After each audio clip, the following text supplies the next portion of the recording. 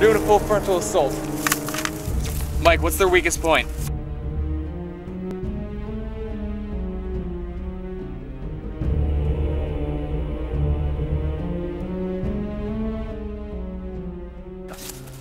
Here they come.